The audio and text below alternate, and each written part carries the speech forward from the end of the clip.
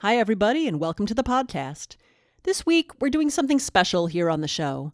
So, on episode 68 of Beyond Six Seconds, I interviewed Heidi Bennett. She's the host of the Vibrant Visionaries podcast, and we were talking about the coaching work that she does with multi creative professionals. Since we both talk with creative and entrepreneurial people on our podcasts about their careers and their stories, we realized that our listeners would most likely enjoy listening to both of our podcasts. So this week, Heidi and I decided to do an episode swap.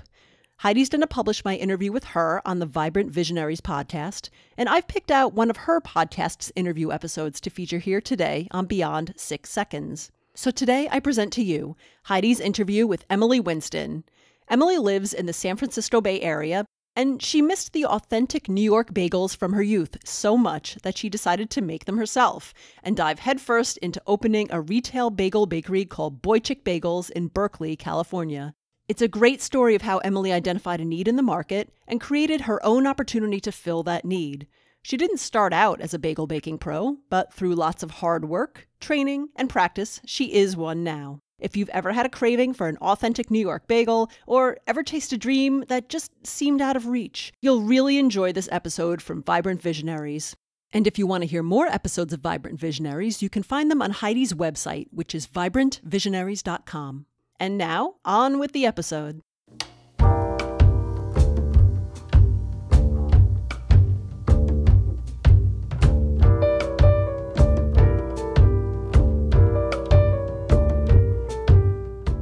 Welcome to another episode of Vibrant Visionaries with Heidi Bennett, happily broadcasting from KACR LP Alameda Community Radio. Enjoy the show. All right, everybody, I'm so excited to bring on a longtime friend, but somebody I actually haven't caught up with in a while, and that is Emily Winston. Welcome, Emily. Thank you, Heidi. Uh, I met you a few years back, and you were doing a few different creative projects, and now you've got a brand new, almost singular focus, I'd say. So, can you tell me a little Definitely. bit about where It's- you're at these days and what it's your a, project it's is? a singular focus that's taking over my life in a big, big way. So it's a bagel shop, but not just any bagel shop. I can back up a little bit. And so I'm from New Jersey, Jewish. I ate a lot of bagels growing up, but the H and H bagel on the Upper West Side of Manhattan was like the golden bagel. It was the special occasion bagel. And fast forward many years, I've been living out here. Stopped eating the bagels because they just weren't very good. I don't want to bother eating a bagel if it's not going to be a good bagel. And in 2012, I learned that H&H was shut down for tax fraud. Mm. And now the sacred bagel is no more. And I was deeply upset about this. And I decided to, well, maybe I can just figure out how to make it for myself. And that just turned into this long term hobby that I would play with every now and then and tweak the recipe a little bit, try something else. Had a lot of not very good bagels for a while, but they slowly got all better and better. And I'd put it down for months at a time and then pick it back up, feed them to all my neighbors at the neighborhood potluck. And after five years, they got really good. I had people telling me you should really be looking into selling these. And I thought, well, maybe. I had some frustrations with the job I'd been doing. And I was, you know, maybe I'll just look into this. Mhm. That that could be this could be interesting, or at least it'll be a fun new hobby.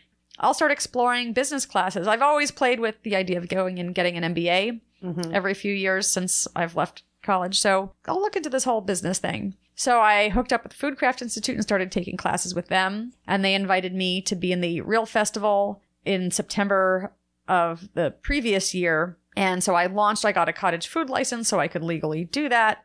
Had a lot of very happy New Yorkers that day Mm. who were very excited.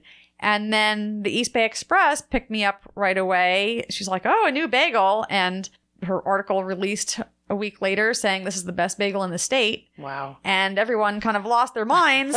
and I did some pop ups and I had people lined up out the door and down to the corner. And for me, the this was just a proof of concept business. I had never really wanted to do a gosh, I'm gonna. My business plan is to make bagels in my house and sell them. It's a deeply inefficient thing to make bagels in your house. Sure. Um, there's a reason why bagel bakeries are like a standalone thing. There's all kinds of very specific equipment that you really want to have. The big question I got asked was, okay, yeah, your friends are very happy about eating your bagels for free, but does that mean that you have strangers willing to pay you money for them? So with the, this limited pop-ups, I got my answer was a very, very resounding yes.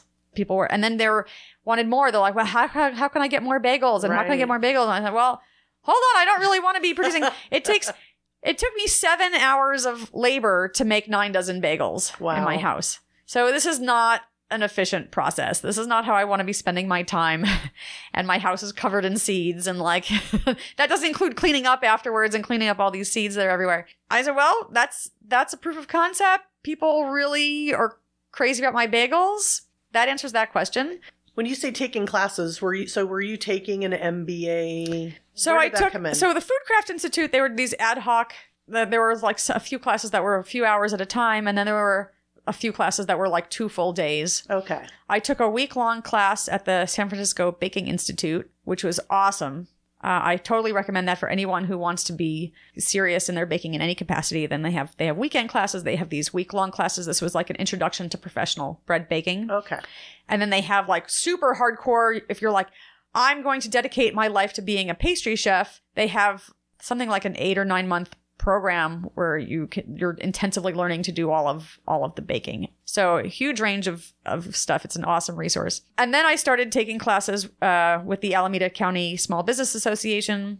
Cool. Yeah, I just wanted to interject in there to kind of fill in the the blanks with the Okay. who's asking you these questions and how you're um, calculating this data and then and and the support that you're getting as you yeah these move classes along this, here. this is great there's really there's an amazing amazing resources out here for for business and specifically for food. So food craft institute was specifically for food entrepreneurship SBDC course it was a 10 week series and it was geared specifically towards food entrepreneurship um, and we had a lot of all these guests from different aspects of business and you know let's look at accounting and let's look at you know hospitality and let's look at branding and marketing and all of these different things. So it's been it's been tremendous. I've loved it. So i've loved i love school. I'm a giant nerd. Mm-hmm. so all of the classes for me i'm like oh the classes just make me happy. I'm learning things and this is really fascinating. Worked on the business plan and started producing projections and the numbers look really good. I'm like i needed to sell myself on the numbers. Like if i'm going to do this I want to feel that this is a solid business.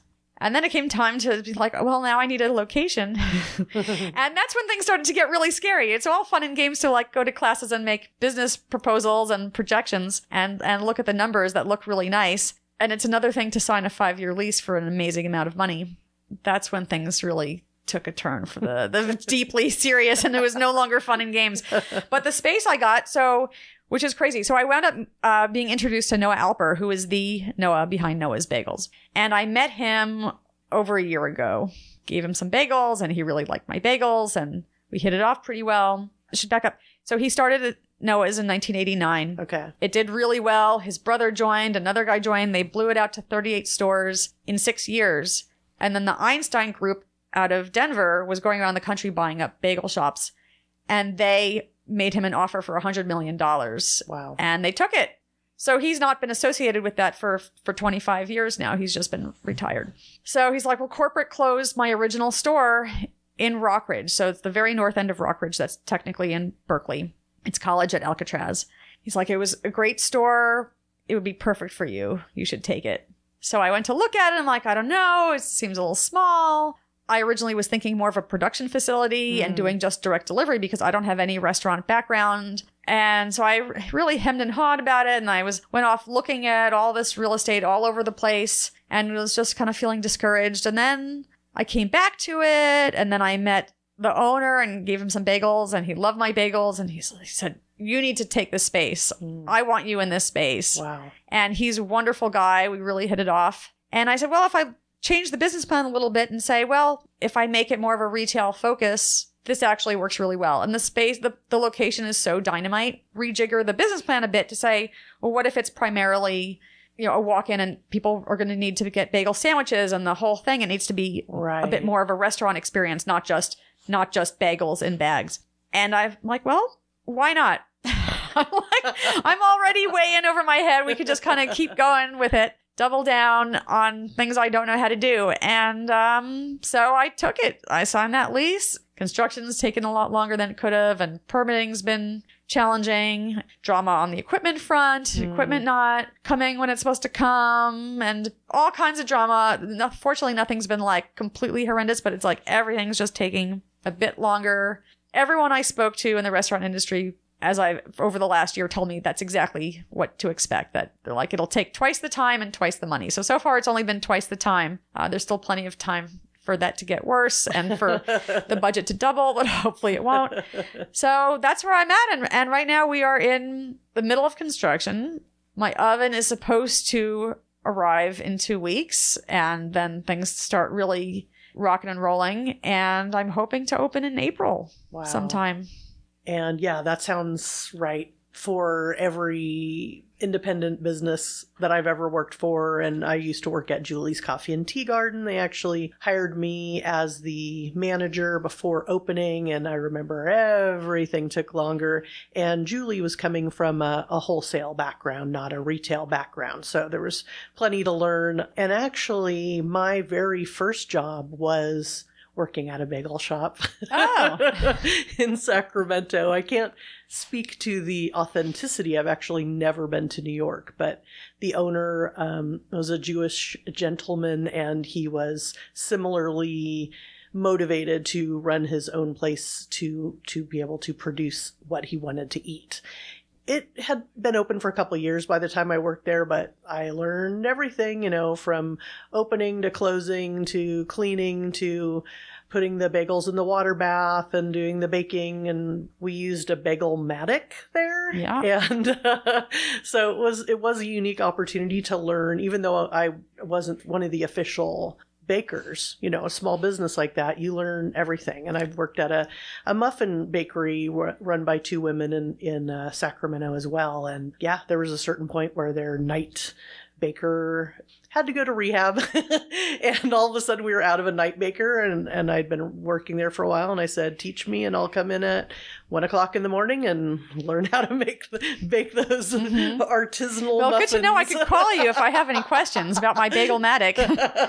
I'm excited, looking forward to getting that in and starting to play with it. That's Yeah. that's going to be a whole production right there. But I'm good with equipment, so Cool. So, yeah, I'd like to talk a little bit about that at the top of this conversation. I mentioned that I felt you were the quintessential multi creative. So, I'd love to hear just about some of the other things you've done in life that you've dabbled with, um, and maybe if you can see where those kind of connect to where you are now. Sure. Well, my background, my undergrad degree is in mechanical engineering, and I've always just been really big on figuring out how how does stuff work, how do I make things. I've always had an interest in that, and particularly design, product design, and that's really big. And for a while, I actually had this hobby business doing lighting. I was doing custom lighting. I took the bottles. I had worked at St. George Spirits for a while, and I was taking their bottles and cutting them at the crucible and making these lighting fixtures. And I put them in several houses and restaurants in the area.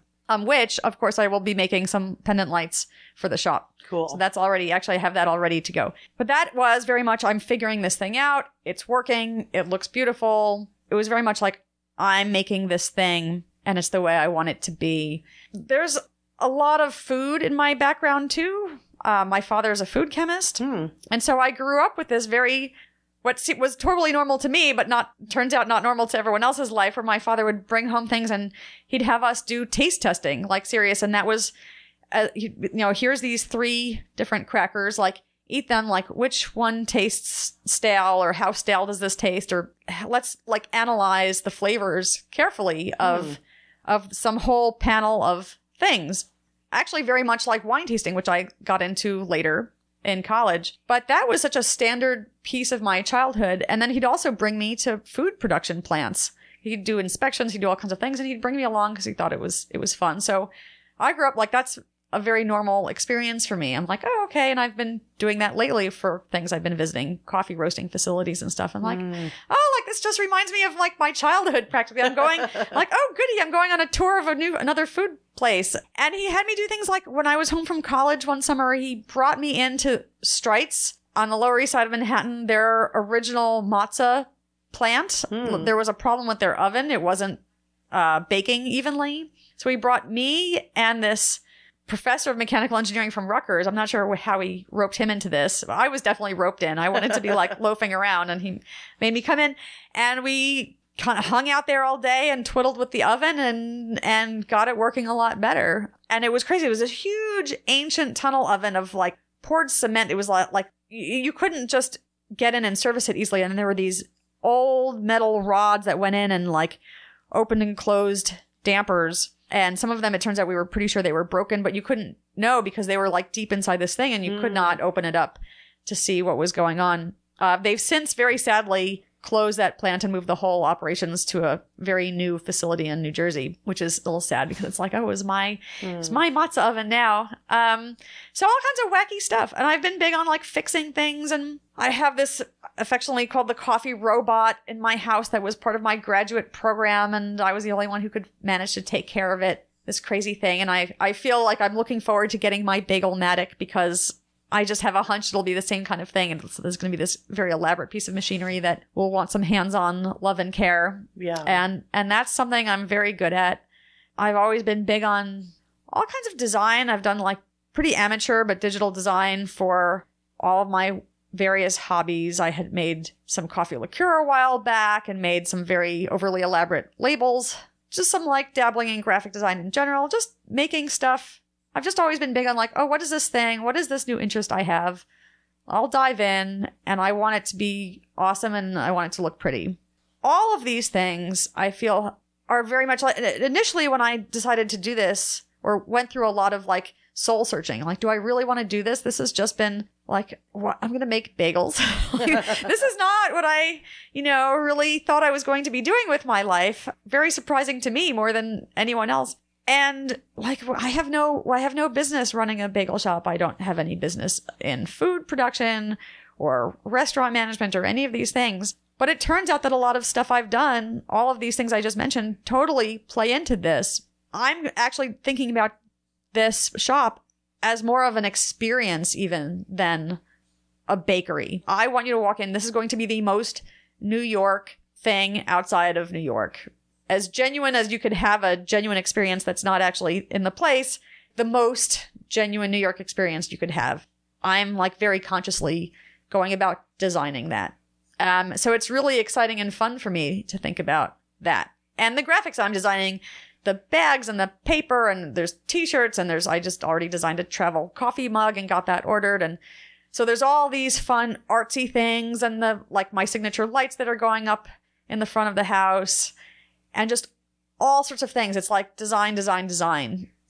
Here's my memories of H and H and Zabar's, which was next door, and Russ and Daughters and uh, more recently Ess-a-Bagels and what do I want this to be and how am I positioning it and putting a lot of my favorite things, kind of New York bagel experiences together with a little bit of creative license and creating my fantasy New York bagel shop with you know what I consider to be the best bagels in existence which are no longer available anywhere with the best fish I can get my hands on. I'll be importing fish from New York, almost like a mini Russ and Daughters experience and and bring them together and just make the whole thing really neat.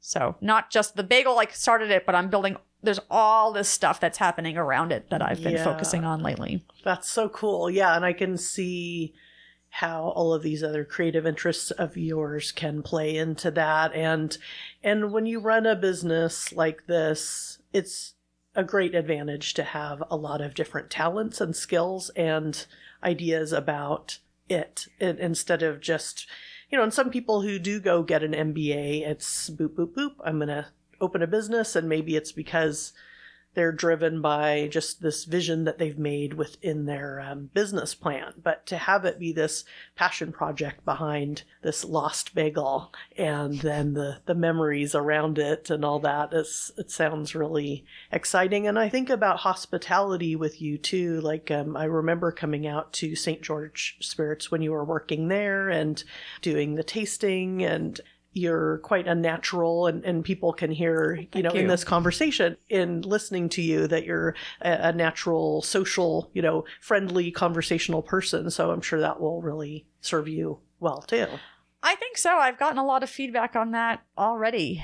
I had my very good friend tell me when who helped with the initial um, event at Eat Real said, "No, no, no. Your job is to be in front of the booth, not serving the food." Now I've developed the food and I made all the bagels, but it said, "We got this. We'll do all the ringing up. You go out and talk to the people." And so that's in a big way that's going to be my new job. And part of the part of the big challenge for me right now is I need to get you know get the bagel dialed in on the new equipment, but I'm going to have to kind of let it go and let other people do a lot of the baking or at least some of the baking it pretty quickly. I can't bake the bagels, take your order, make your sandwich, hand it to you. Like that's not a practical situation. So there's going to have to be this whole staff executing all of this and then I can be in the front talking to people about bagels. it's almost like that's going to be my job and not I'm kind of getting fired from the making of the bagels pretty pretty quickly. Yeah. Um yeah, and I'm going to, you know, I'm now this new bagel evangelist of all bizarre jobs to have.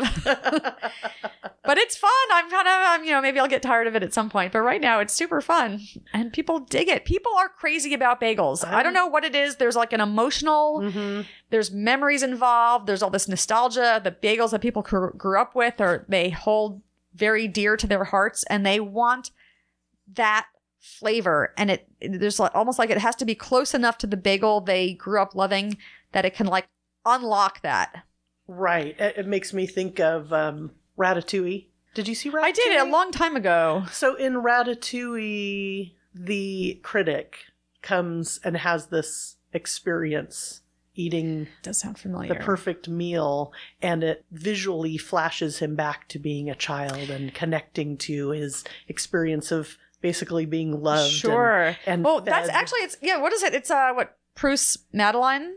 That um I'd have to check on that. I want to say that that was who. that was this Madeleine, and he said that he had all these memories and yeah, this Oh, okay. associated with the Madeleine cookie. Oh, right, right. um, Okay, yes. And yeah, so that people have these food memories that just unlock so much. And they can be a lot of times it's, you know, your mother's or your grandmother's specific dish, but or it could be this kind of commercially produced bagel. I've gotten so much fascinating feedback from people who are just like, Oh my God, thank you, thank you, thank you for what you're doing. This is a mitzvah. Like you're doing this public service. You are bringing the holy bagel to this barren wasteland. and you know, we have, and uh, like, what's interesting is it's like, and, you know, I've kind of felt that way too, which is what motivated my whole project for me. But it's not that we don't have any bagels here, and there's some of them are pretty good, but none of them. A lot of people are just like, well, here's my creative, here's my East West sourdough hybrid Right. bagel, or here's my creative take on a bagel. But what so many people, including myself, wanted was the bagel I grew up with. I don't want your creative bagel. I don't want, and I'm not making, I don't want to make an Emily bagel. I want the H and H bagel. Right. so that's what I wanted it. And it turns out that a lot of other people, it's, it's resonating with them in a very, very big way. But it's, it's really deeply fascinating to me. I just get the most amazing feedback all the time about how uh, delighted people are that I'm doing this. And they're like, you know, good luck, get open. I have people in the neighborhood. If I'm in there and the door's open, people pop in and they're like, hurry up and open already. We want our bagels. And, and then they're like, it's okay. Like, they're like, well, wait, well, wait, well, wait. I got this amazing voicemail from an older guy yesterday saying that he was in the neighborhood and he wanted to know when I'd be opening so that the hordes could descend. And like the sweetest way, he's like, the descending hordes. And I was like, oh, it just made my day. I'm like, this is so great. And they're all supportive and they're so excited. Like, what other foods do people get like this excited about? It's just blowing me away. That's awesome. Well, before we wrap up, I'd like to make sure people know the name of your business. We Oh. haven't even talked about that. And I'd love if you wouldn't mind sharing the story behind the name because I think it's just such a great name. and also your website address, all your all that kind of good stuff before we wrap Of up. course. So it's Boichik Bagels, and it's spelled B O I C H I K. And it's a Yiddish word. It's normally spelled B O Y C H I K, and it's pronounced Boychik. And in Yiddish, it means cute little boy. So it's it's the nickname that every Jewish grandmother calls her grandson, basically up from, you know, ages probably two to 12 or so. And it's the cheek pinching, like, oh, my cute little boy chick, this diminutive, loved term. I grew up uh, in a family of, we have, it was three sisters, so I didn't actually hear that word very much growing up. But when I was several years ago, I want to say it must have been, I don't know, maybe seven years ago now. and I had what I what I call had gone butch, where I mm-hmm. had kind of went to very masculine clothing and hair. And I went home to visit for the first time since kind of doing that and went to visit my grandmother and was a little nervous about what she would say because she's a very opinionated Jewish grandmother. And she took a look at me and said, Oh, such a cute boy chick. Will you, will you be having your bar mitzvah soon? Because and we had a good laugh and it was really cute and it was really sweet. And I just love that. It was really, and then she passed away a few years after that. And it is true. I'm, I'm very small. I'm only five feet tall. I'm actually basically the size of a 12, 13 year old boy. So, and I got mistaken for such. So it totally works perfectly. And when I thought about what name do I want to give this project, uh, actually, ori- the original working name for my hobby venture was E and E Bagels because my now ex-wife, her name also started with an E, and then it was an homage to H and H. Of course, then she left, and I'm like, well, now I need a new name for this, and I'm like, well, B, you know, bagels. There's a lot of B names for bagel shops because it works well. So we've got Beauty's, and there's a ton of like bagel boys on the East Coast. And I thought about that. I'm like, well, what about boy chick? Yeah. So I got it from that moment with my grandmother. And it's cool because, and I have a lot of people really excited. Well, there's a lot of people who are like, they don't know what it is and they're confused. And then they call it bio chick because they're reading it quickly and, and getting it confused. Sure. But there's a lot of people, especially Jews, love it. In the queer community, people really dig it. And so it's a little bit of an insider play on words. And I have so many middle aged men that have come up at, to me at pop ups and are like, oh, my grandmother called me boy chick. I haven't heard that in 20 years. Oh, and they get all excited and they're like, when are you going to have a t shirt I can buy? So they all want swag. And it's sweet because it just brings you back. And so it's there's more nostalgia. So it's first it's I'm giving you like the it's the bagel that you're nostalgic about that you haven't had in 20 years. And this word that you haven't heard in 20 years. And it's kind of all going back together to this nice, warm, fuzzy place in your past. Well, thank you so much for spending time with me today, Emily. And so before we wrap up, I also want to make sure that people know what your website is and how people can connect with you oh. and get on your newsletter and make Sure. sure they know when your shop opens. Well, I've got Facebook and Instagram, of course, and that's all under Boichik Bagels. And my website is boichikbagels.com. And there's the email sign up right on the main page there. And they could, they'll get the emails for exactly all the news as soon as I'm ready to release it. And that's pretty much it. And I don't think I mentioned it, but I met you here in Alameda. Are you still living in Alameda? I am. cool. All right. Thanks again, Emily. It was Thank great you. having It's you. Wonderful. Thank you. That wraps up another episode of Vibrant Visionaries with Heidi Bennett. I'm a business and wellness coach for multi creatives. If you're curious about what it's like working with me, you can find me at HeidiBennett.com. And if you'd like to hear all the other episodes of Vibrant Visionaries, you can check out VibrantVisionaries.com. Thanks for listening to KACR LP Alameda Community Radio. Ciao.